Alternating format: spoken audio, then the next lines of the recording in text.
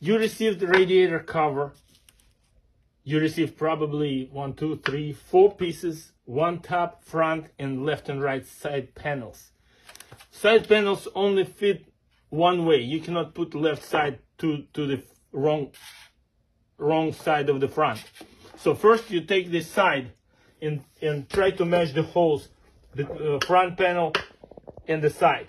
It has to match exactly. If it doesn't match exactly, it means that this side is wrong side. You have to move it to the other side.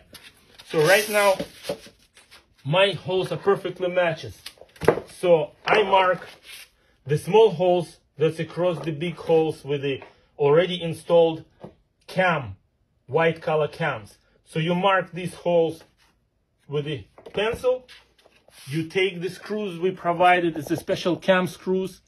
You have to put this in this hole in, in these matching holes with screwdriver.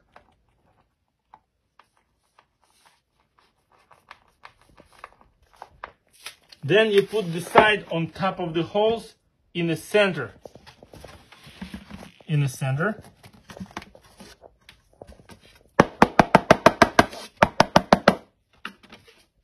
And then you take the screwdriver and put at the little angle inside inside of this round hole in a in a white drums.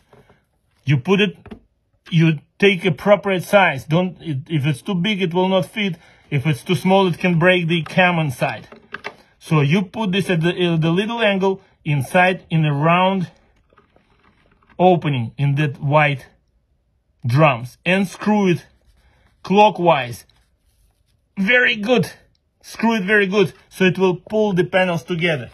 Now when you when you build it up, build it, you stand up and do the same with the top panel. Just put it on top. Put it on top. Flash on the back. Front is sticking out. And do the same. Go inside. Go inside match the small holes, put the little screws inside, put the top on top of the side panels and do the same job.